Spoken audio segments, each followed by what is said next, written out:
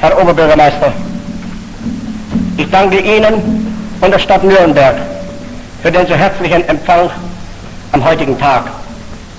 Das symbolische Zeichen deutscher Reichskraft, das Sie mir hier als Geschenk übergeben, soll mich selbst immer aufs Neue erinnern an diesen denkwürdigen Parteitag des dritten Jahres der nationalsozialistischen Revolution und des ersten Jahres der neuen deutschen Freiheit. Ich danke Ihnen, Herr Oberbürgermeister, noch einmal für diesen Empfang und für das wunderschöne Geschenk und bitte Sie alle, der alten Stand der Reichsparteitage unseren deutschen Gruß zuzurufen. Nürnberg